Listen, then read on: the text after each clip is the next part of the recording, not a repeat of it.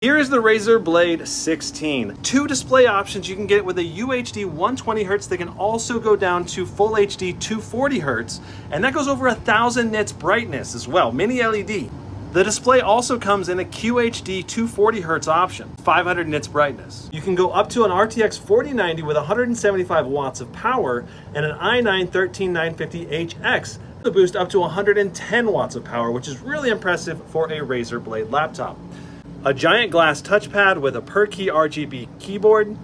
On the right side, we have a full-size SD card slot, a USB-C with DisplayPort that goes to the integrated GPU, USB-A, and HDMI 2.1. On the left side, we have a headset port, a Thunderbolt 4 that goes to the NVIDIA GPU, two USB-As, and a power adapter port, no Ethernet port on the 16. You'll have to use a USB adapter for that.